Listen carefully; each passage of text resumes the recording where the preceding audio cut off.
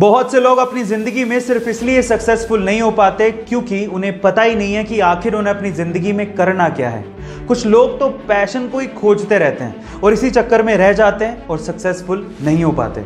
इस बात पे अमेजोन के मालिक जेफ बेजोस का क्या कहना है पता है? वो ये कहते हैं कि पूरी दुनिया में बहुत से ऐसे लोग हैं जो कि सिर्फ़ इस वजह से अनसक्सेसफुल रहते हैं क्योंकि वो अपने इंटरेस्ट या पैशन को अपने ऊपर थोपते हैं। वो ये कहते हैं कि याद रखिए कि आप अपने पैशन को कभी नहीं चुनते, बल्कि आपका पैशन आपको चुनता है।